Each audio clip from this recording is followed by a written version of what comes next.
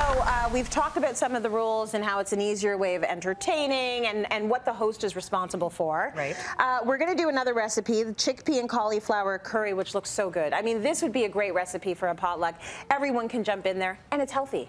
It's healthy, and you know, because of who I am, I, I you know, I always make healthy stuff anyway. So why You would I change? it. And I think that's really important that you do. You know, you know, if you have a signature dish. Yeah. I was talking to uh, one of the guys in the crew, and they said that there, or I forget who it was already, because I my, my my brain is like nuts right now. I know. Anyway, um, and he was saying that his grandma always had exactly the same thing every for like 40 years. There's nothing it was a wrong with that. I know, and I think that's neat. Yes, because So you should come to expect it, and if it's not there, it's a problem. It's the wrong. You're at the wrong potluck. Yes, exactly. Right. get out. Right. Get out. Bring So- back the recipe we yeah, like. Yeah. Don't be fooling with my memories. No. You know, like I want to have that. Anyway. Okay. So. Uh, it's all about me. Anyway. Okay. So I've got. Curries start with onion and garlic and, and uh, ginger, okay? So now I used to make curry with just curry powder, and I still do, but curry powder, It I think a lot of people, no, I think a lot of people think that curry powder is like an herb. Right. Like one thing. You buy a curry powder, you know. And then that's outfit. it. No. So curry powder is a combination of turmeric. So you're going to put turmeric in, and then there's cumin and coriander. That's coriander, Mm-hmm. and then cumin, and uh, I've got cinnamon and uh, cloves, Mm-hmm. and then what's going to kick your butt right off is the red pepper flakes. So all of it All there? of it. Oh, yeah. okay. This is really, really hot. Okay. And then a little bit of iodized salt, okay? Nice. And then you're going to cook that up in the oil so that it absorbs, and you should get that smell right in your face. And just a tip, don't cook it like this because you could aspirate. Anyway, yeah, no, I happened once. Good anyway, tip. so yeah, I think that's a good tip. Anyway, another home economist tip. And then we're going to put in the uh, the cauliflower, and so that nice veggie meal. a nice veggie meal. Oh, they're really jammed in there. This Yeah, was. I got this Sorry, at lady. Loblaws. This was the biggest, hugest head of cauliflower I've ever seen. And then chickpeas. And I really love Loblaws blue menu. So when you're buying stuff, it has no salt.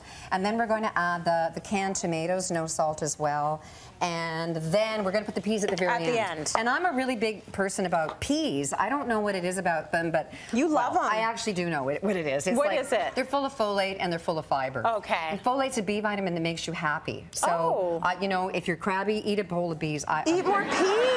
Eat a bowl of a bowl of peas. A bowl of peas. Oh my goodness! A Yes, bowl of right. pea- I didn't Bowl- realize that. People Yeah. don't talk about that. Well, B vitamins are really important for your mental health, Yeah. and so you know sometimes when you're under stress, you're not get you just delete deplete. Yes. Oh my lord. Whatever, we get it. Whatever you get. You it, know what? okay. Vi- well, I always Yes. think of vitamin D when I think of uh, happiness. Well, that's a sunshine vitamin, so that might be because you're in the sun. But the Yeah. B vitamins really contribute a lot to your mental health. so Got does it. so does anything that's an anti-inflammatory, and there's a lot of anti-inflammatory ingredients in there. So you would cook this up until the uh, the cauliflower is tender. Yep. and then you'd add the peas. So you Okay. we'll just pretend that we'll just Let's. We it. won't do it yet because Okay. then we'll make it real. We'll make it real. And now, make it real, Cityline real.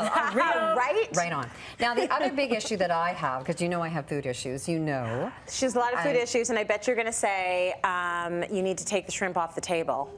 Food Don't leave. safety. Yeah, don't leave the seafood out there just for eight hours. No, you will die. You will You kill will somebody. Now the thing is, is that not everybody will get sick. So it's Yeah. Usually someone with a compromised immune system, mm-hmm. someone who's a little kid, or somebody who's a senior. Yes. And you don't know who that is. So Yeah. when when we go to a potluck with my with my family Yeah. or a buffet, I'll go, don't touch it, don't touch it. Yeah, okay, okay. Only because you know we get there and it's been sitting out there for three hours. So Yes. the rule of thumb is keep hot foods hot and cold foods cold. Right. And so if you do have a shrimp ring, then put it in a bowl of ice. Got it. And then that will be that will be helpful for everybody. Right. Also, things like hot. Okay, so I don't know whether uh, you noticed, but because we're having a potluck later, we put all the cold stuff in the refrigerator right now, so that we're going to have it all for lunch. Okay, so So you're really, like years really food safety, not just on TV, but in real life. everywhere. Like I am a Everywhere. crazy person. Yes, yeah. I know. Because you know what? I've traveled so much and I've had food poisoning, and Yes, it is so not a fun. I. Isn't it horrible? It's the worst thing ever, and I've had it like two or three times. Me and it's always when buying food out.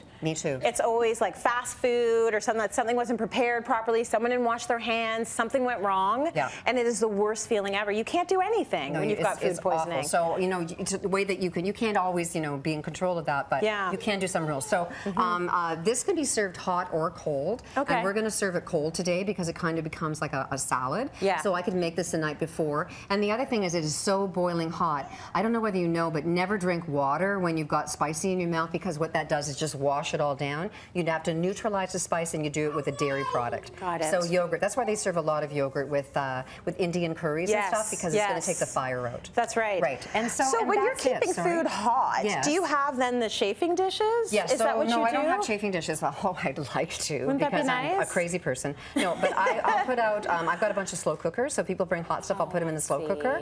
Or I also have a couple of. Um, they're called Japanese butane cookers, and they're like a little stove, and I do Mm-hmm. Yeah. that, and I have them around too. Got Um, it. and an hour in the summer, two an hour and a half in the in a in a cooler room. But if it's in the summer and it's outside, 45 minutes and it's toast. So don't take any leftovers home. Mm, don't be late to the potluck. Don't be late to the potluck. Get there right away. Get there first. Yes, Yeah, right, and eat it all and then Yeah, enough. that's it.